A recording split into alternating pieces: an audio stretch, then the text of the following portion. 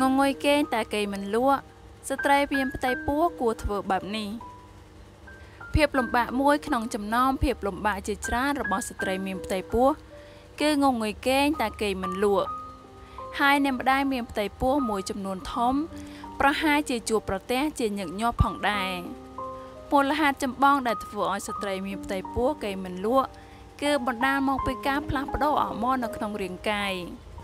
ទោះជាយ៉ាងណាដើម្បីគេងលក់ស្រួល ក្នុងពេលមានផ្ទៃពោះអ្នកម្ដាយគួរសាកល្បងតិចនិចទាំងនេះ 1. ជ្រើសរើសទីតាំងគេងឲ្យបានត្រឹមត្រូវព្រោះនៅពេលមានផ្ទៃពោះអ្នកម្ដាយអាចមានការឈឺចង្កេះហើមពោះចុកពោះដូច្នេះទីតាំងគេងដែលជួយកាត់បន្ថយការឈឺខ្នង និងធ្វើឲ្យអ្នកម្ដាយគេងលក់ស្រួល ជាពិសេសត្រូវគេងផ្អៀងទៅខាងឆ្វេង ដើម្បីបញ្ជាកុំឲ្យសង្កត់លើផ្នែកសរសៃធំ ដែលនៅផ្នែកខាងស្ដាំប៉ុន្តែអ្នកអាចគេងទៅតាមទីតាំងណាមួយ ដែលធ្វើឲ្យអ្នកមានអារម្មណ៍ថាស្រួល2កែតម្រូវលក្ខណៈបន្ទប់គេងឲ្យបានសមស្របសម្រាប់ស្ត្រីមានផ្ទៃពោះដូចជា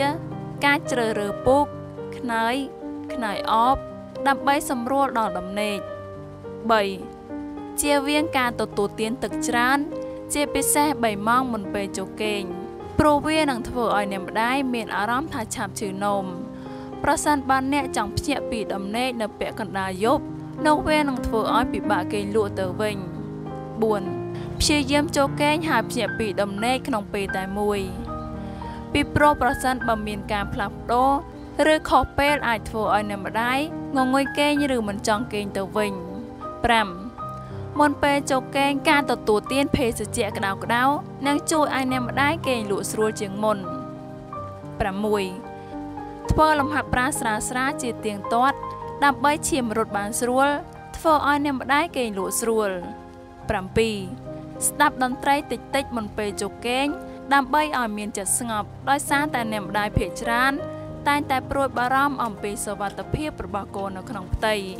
សូមអ្នកម្ដាយទាំងឡាយអនុវត្តវិធីសាស្ត្រដែលបានបង្ហាញនៅខាងលើប៉ុន្តែប្រសិនបើអ្នកម្ដាយនៅតែគេមិនលក់ដដែល សូមពិគ្រោះជាមួយគ្រូពេទ្យជាបន្ទាន់